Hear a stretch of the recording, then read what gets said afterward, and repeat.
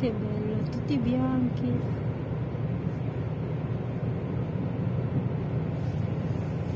Ayan guys, puting-puti oh, ang lupa. Dahil sa snow.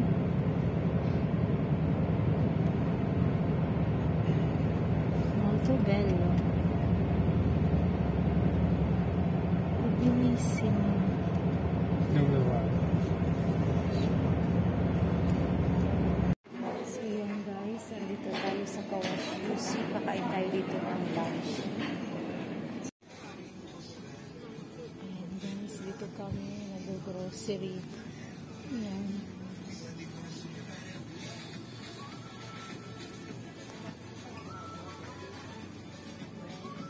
So yan nga guys, ang aming na family guys. Oh. So yan guys, kakarating lang galing sa bayan. At yan ang, ito ang aming na family. Ayan siya. Parsley. At saka, yan.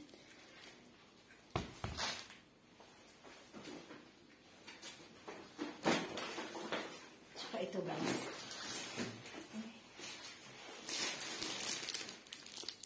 Ito siya.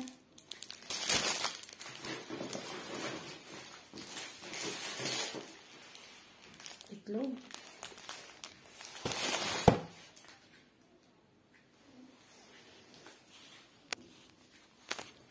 Ayan.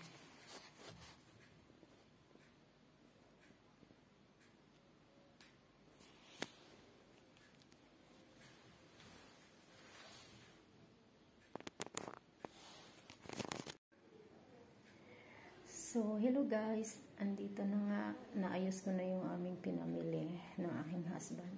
So, yan, kaupo lang guys. Tapos yun, ngayon sobrang ang pangit ng panahon. Snow. Tapos malamig. Ang lamig talaga. Lamig talaga siya guys. Tapos yun, kanina, yun nga, kaninang umaga gumawa ako ng cake na sunog pa. Tapos, yun, pumunta kami sa bayan. Doon na rin kami nag-lunch sa bayan. Nag-lunch. Tapos, yun, nag-grocery kami. Counting grocery. Pati, nag-grocery na rin kami. Namili na, rin, na din kami ng mga binibenta namin sa aming tindahan. Ganon. Sumapagod. Yun, pero normal lang naman yun. Kasama yan sa buhay, guys. Sabay ganon, no? Tapos, yun. Yun lang ang ganap ngayong araw. Ngayon ay, anong araw ba ngayon guys? Ah, Martes.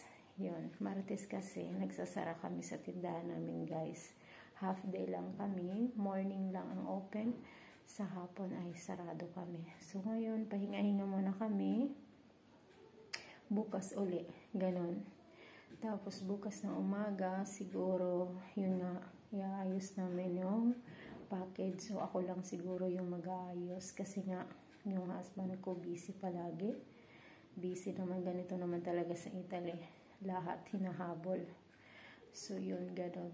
Tapos, hindi, hindi din biro ang mag, ano, mag-ayos ng package kasi nga, kailangan mong siksikin talaga. Kailangan marami ka tal- talagang may lalagay kasi sayang din, 'di ba?